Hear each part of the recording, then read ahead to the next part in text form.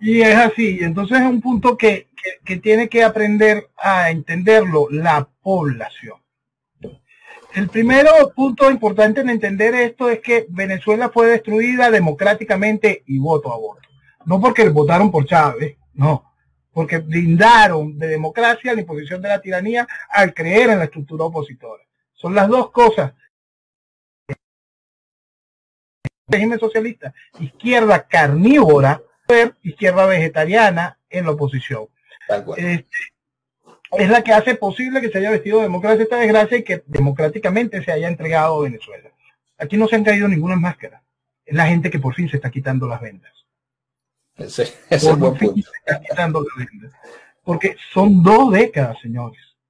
Son dos décadas. Y vuelvo. Le pusieron al compadre de Chávez como primer contrincante. Al compadre de Chávez. Después le pusieron una cosa tan absurda y ridícula como Rosales. Arias Cárdenas, sí. Después, le pusieron, después le pusieron a defender en, eh, eh, en el 2007 les inventaron todo un movimiento estudiantil para que creyeran que tenían que defender la constitución. La chavista, la constitución chavista. El país, el país tiene que terminar de comprender que hay ese hilo conductor son socialistas. Y si yo quiero un mañana, tengo que dejar atrás todo lo que nos trajo aquí y nos mantiene aquí. Tiene que terminar de, identificar eso que nos ha hecho tanto daño. Porque hay un punto que es fundamental para entender a los amantes de la Cuarta República. Si aquello hubiese servido, no llega Chávez. No, claro. Punto. Punto fundamental.